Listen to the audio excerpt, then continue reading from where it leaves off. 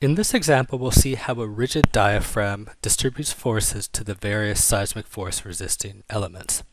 We'll look at center of mass, we'll look at center of rigidity, and we'll see how these two concepts influence the distribution of forces. Shown here is a plan of our example building, very similar to what we use for flexible diaphragms. We've slightly changed the shear walls in the y direction. You can see the y direction right here. And we've added shear walls in the x direction. We'll name the shear walls according to the line that they're on. So this is shear wall A, B, C, D, shear wall 1, and these are already labeled 2AB and 2CD. The basic definition of center of mass is given in the book, and this is also given in statics and strength of materials classes. It's the sum of the product of the individual centroid and area of all the subareas divided by the total area. Let's calculate the center of mass for this diaphragm. We've divided the diaphragm into three different regions, A1, A2, A3. The individual areas are given here. For instance, area A1 is 30 by 30, as is area A3.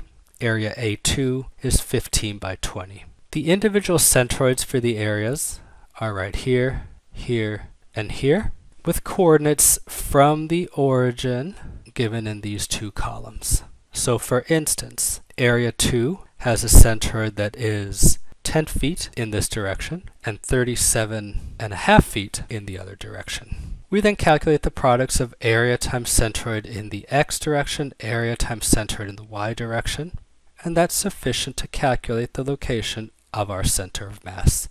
Using the equations above, these sums right here, and this sum right here, we get the following values for our center of mass. Our center of mass is located right here. This is approximately 14 feet in the y direction and 37 and a half feet in the x direction. The 37 and a half feet we could have determined by inspection because the diaphragm is symmetric in this direction. One last item to note, for simplicity, I haven't shown any units in any of my calculations, but in this example, all calculations are in kips and feet. Let's move on now to center rigidity, which is a new concept. I'm indicating the same floor plan with the location of the center of mass that we already calculated. Let's first remind ourselves about the definition of rigidity. Previously in the course, we saw the following expression for rigidity for a cantilevered wall segment. Because the term D is used elsewhere in this video, I'll be using L in the section for rigidity. We have basically two walls here. We have 10 foot long walls and 20 foot long walls. We're assuming a height of 9 feet. This wasn't given before, this is given here.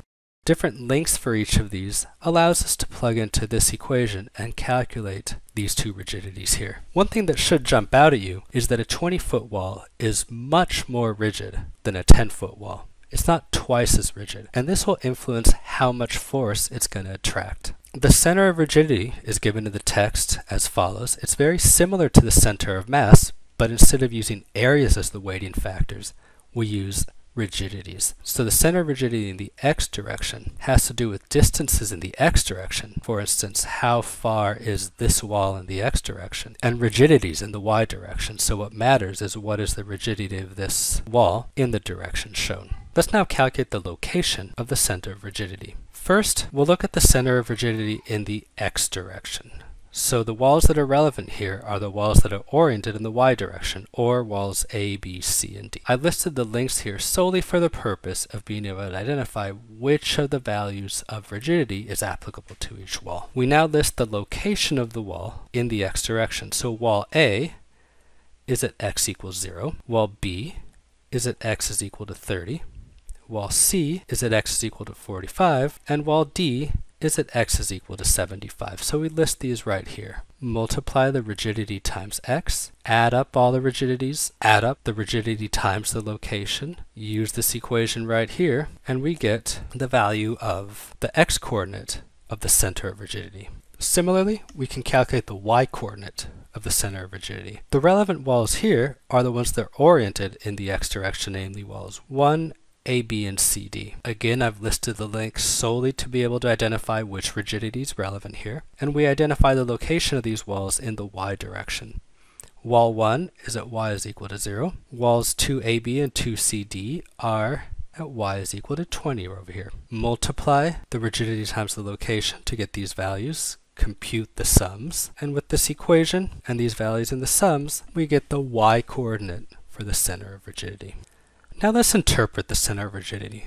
First, we can locate it on the diaphragm. So we see that the center of rigidity is at 37.5 in the x direction, and we could have noticed that by symmetry, same as the center of mass. It's 7.58 feet away from line 1, and we'll recall down here, the center of mass was at 14.29. The difference between these two is the eccentricity, and we'll use this information later. I've highlighted two more columns here. The term d is the distance of each wall now from the center of rigidity. So for instance, wall A is going to be 37.5 feet in the negative direction from the center of rigidity. And the same calculation is performed for all the different walls. The other new column has to do with the contribution of each wall to resisting shear. And the basic theory behind rigid diaphragms is that the seismic force resisting system resists shear in proportion to its rigidity. And so this last column, VI, the shear in each SFRS, divided by V, the total shear, is given by the rigidity divided by the total rigidity. We can see that the 20 foot walls take each 38% of the shear, whereas the 10 foot walls each take 12% of the shear in the x direction. In the y direction, the 20 foot wall takes 62% of the shear. This ends the discussion on center of rigidity, and next we'll move on to see how the location of center of rigidity, how the location of center of mass influence the distribution of forces.